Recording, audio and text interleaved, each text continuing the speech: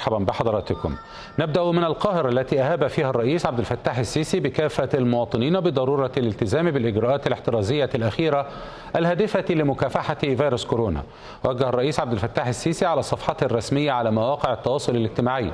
التحية لأبناء مصر من كافة الاتجاهات من القوات المسلحة والشرطة المدنية ورجال منظومة الرعاية الصحية الشاملة. في سياق